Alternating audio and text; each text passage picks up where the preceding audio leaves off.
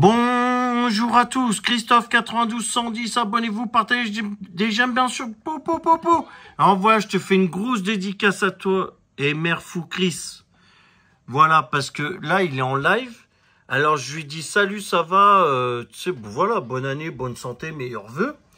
Et dit, vous allez voir son live direct, il m'a insulté. En fait, ce gars-là, il sait pas parler, il sait que insulter les gens.